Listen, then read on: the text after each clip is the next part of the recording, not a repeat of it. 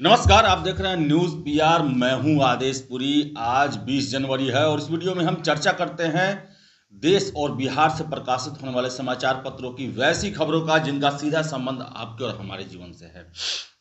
तो चलिए शुरुआत करते हैं। सबसे पहली खबर लिया है हमने दैनिक जागरण के राष्ट्रीय संस्मरण से, जिसमें दिया हुआ है कि हिंसा और आशंकाओं के बीच में बाइडन और कैमला, कमला हैरिस जो है, आज लेंगे शपथ। आपको बता दें कि अमेरिका के नवनियुक्त राष्ट्रपति जो बाइडेन जो है आज राष्ट्रपति पद की शपथ लेंगे और ऐसे में ट्रंप समर्थकों के द्वारा उत्पात न मचाया जाए, इसके लिए पूरे वाशिंगटन डीसी शहर को किले में तब्दील कर दिया गया है और सुरक्षा के अभूतपूर्व जो है, वो तैयारियाँ की गई हैं। वही अगली खबर हमने लिया है, दैनिक जागरण से ही इसमें दिया हुआ है कि कोवैक्सीन और कोविशील्ड दुनिया के सबसे सुरक्षित वैक्सीन साबित हो रहे हैं। बता दें आपको कि जो वैक्सीनेशन के बाद जो साइड इफ़ेक्ट की दर है जो भारत में, वो ज़ीरो दशमलव ज़ीरो ज़ीरो एक प्रतिशत रही है अभी तक, जिन्हें हॉस्पिटल में जाना पड़ा है। वही अगर हम बात करें फाइजर और मॉडर्ना की तो उनका ज़ीरो पॉइंट सिक्स रहा है कि जिन्हें कोवैक्स, जिन्हें वो वैक्सीन लेने के बाद कोरोना की उन्हें हॉस्पिटल में जाना पड़ा है। तो ये भारत के लिए एक काफ़ी अभूतपूर्व सफलता है कि भारत के दो, में बने दो वैक्सीन, कोविशील्ड और कोवैक्सीन, काफ़ी सुरक्षित है। वही अगली खबर हमने लिया है, दैनिक जागरण से इसमें दिया हुआ है कि तांडव, जो कि वेब सीरीज़ अमेजन प्राइम द्वारा जारी किया गया था, नौ एपिसोड वाला, उसमें कुछ दृश्यों को लेकर आपत्ति थी, जिसको लेकर बीजेपी और वीएचपी ने आपत्ति दर्ज कराई थी, जिसको देखते हुए उसके निर्माता और जो निर्देशक मंडल है, उन्होंने फैसला किया है कि वैसे सीन को हटा लिया जाएगा। वही अगली खबर भी हमने दैनिक जागरण से लिया इसमें दिया हुआ कि 23 जनवरी को नेताजी सुभाष चंद्र बोस का जन्मदिन होता है और ऐसे में भारत सरकार ने फैसला लिया है कि उनका एक जन्मदिन पराक्रम दिवस के रूप में मनाया जाए। पर्यटन मंत्रालय के द्वारा इसकी अधिसूचना जारी की गई और इस साल उनका जन्मदिन एक काफ़ी धूमधाम से पूरे देश में मनाया जाएगा। वही अगली खबर भी दैनिक भास्कर दैनिक जागरण राष्ट्रीय से हमने लिया। इसमें दिया हुआ है कि संसद में अब माननीयों के लिए ए, के लिए भी खान पान खान पान महँगा सब्सिडी खत्म।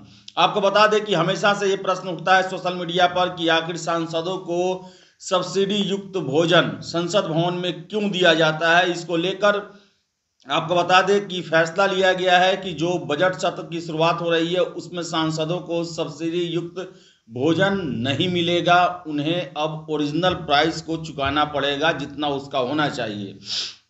वही अगली खबर भी हमने दैनिक जागरण के राष्ट्रीय संस्मरण से लिया है। इसमें दिया हुआ है कि भारत बायोटेक ने दी चेतावनी।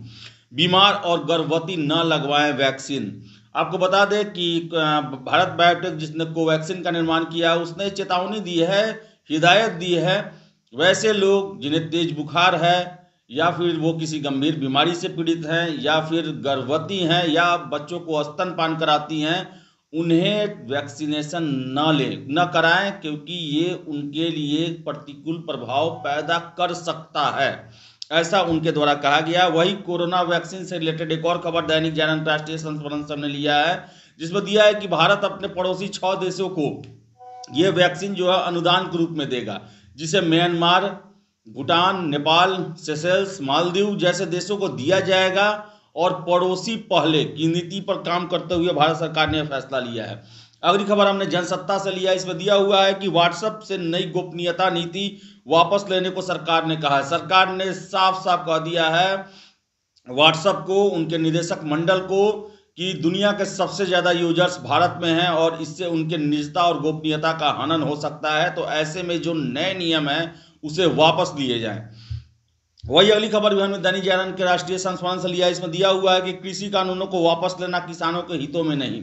आपको बता दें कि सुप्रीम कोर्ट सुनवाई करने के बाद कृषि जो कानून बने हुए थे उस पर अंतरिम रोक लगा दी है। इसके साथ साथ एक टीम का गठन गठन किया था, जो कि किसानों से वार्ता करती। टीम के अध्यक्ष ने कहा कि जो कृषि कानून बनाए गए हैं, वो किसानों के हित में हैं और इसे पूरी तरह वापस लेना किसानों के साथ अहित करना होगा। तो इस पर विचार करने की ज़रूरत है। वही अगली खबर हमने हिंदुस्तान से लिया। इसमें दिया हुआ है कि बिहार विधानमंडल का सत्र 19 जनवरी से 22 को पेश होगा बजट। आपको बता दें कि 19 फरवरी से बिहार विधानसभा का बजट सत्र शुरू हो रहा है और राज्यपाल के अभिभाषण के साथ ही यह बजट सत्र की शुरुआत होगी और 24 मार्च तक बिहार विधानसभा का बजट सत्र रहेगा।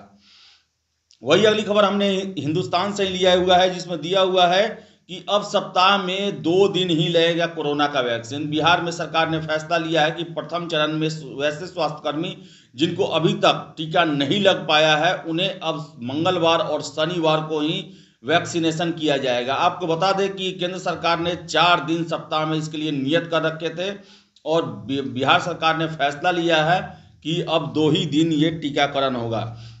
वही अगली खबर हमने हिंदुस्तान से लिया इसमें दिया हुआ है कि 17 फरवरी से शुरू हो रहे बिहार में मैट्रिक परीक्षा को लेकर सरकार ने एडवाइजरी जारी की है और सरकार का साफ़ कहना है कि कोविड प्रॉब्लम को देखते हुए एक बेंच पर दो ही छात्र बैठेंगे।